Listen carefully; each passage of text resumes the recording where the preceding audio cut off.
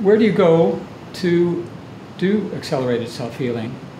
Well, the, the greatest beauty of it is you don't have to go anywhere. You can do this in your own home. Where would you rather hear, heal? Where do you feel you have a more conducive healing environment? In your home?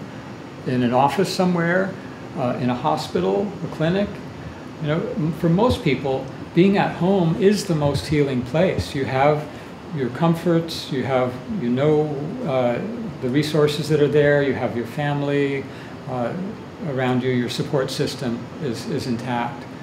Uh, and, and we all know that the worst diseases come from a hospital, uh, nosocomial infections and, and uh, iatrogenic disease. So being at home is one of the advantages of our accelerated self-healing program where we can communicate with you by internet, by mail, by, uh, by phone.